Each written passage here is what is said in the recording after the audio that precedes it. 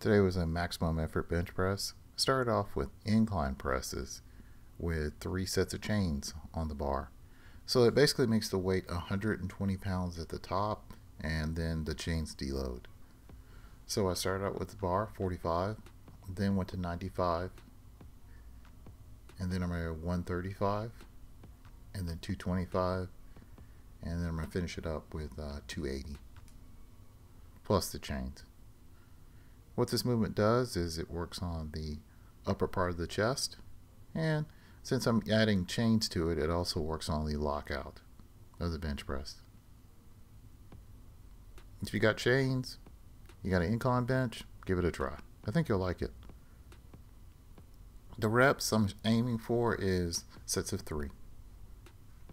When I do inclines, I like to do anywhere from three to six reps. Pressing it out.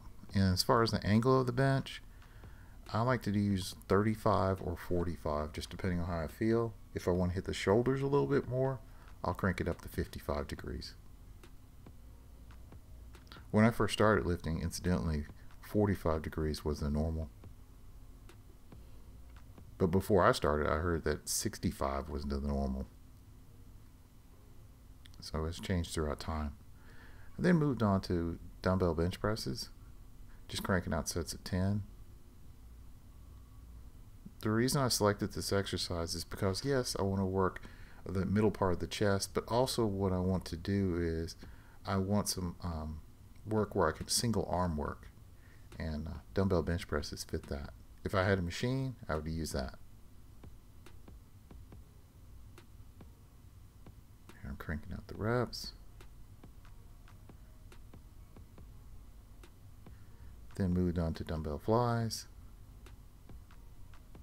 For me, dumbbell flies are critical in my bench press. I discovered when I don't do them, my bench press actually goes down, particularly on the bottom portion of it. So this strengthens the pecs at the bottom. And then moved on to band side laterals. I had to get the bands right. These are definitely my favorite form of side laterals. I like these way better than dumbbells or cables. And then tricep press downs. I did six sets of 10. I want to thank you for watching. If you have any comments or questions, please leave them below. Thank you.